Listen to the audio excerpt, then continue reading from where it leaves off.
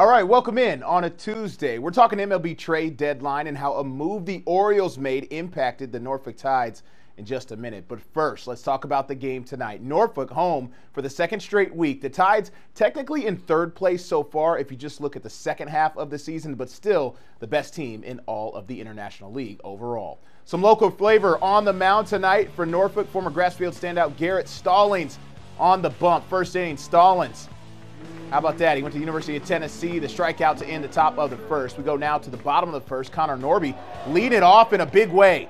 First pitch, swinging opposite field shot to the party deck. It goes. His 15th of the year, his fifth leadoff homer in less than a month. He's been balling lately. Bottom of the second, Norby back at the plate. How about some more? His second swing of the game, deep to left center.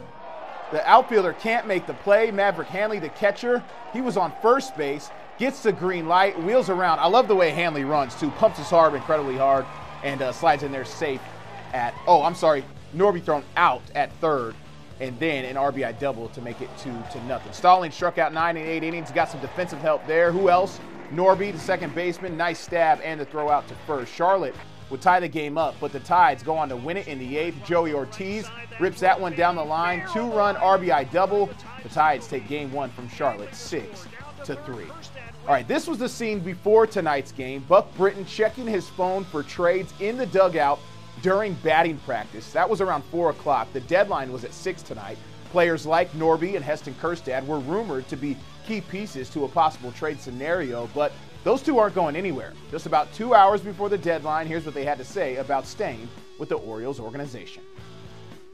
It would mean everything. I mean, I, I want to be an Oriole. That's from day one they drafted me that I want to be an Oriole for life, and I've said that numerous times. And um, I want to play in the big leagues.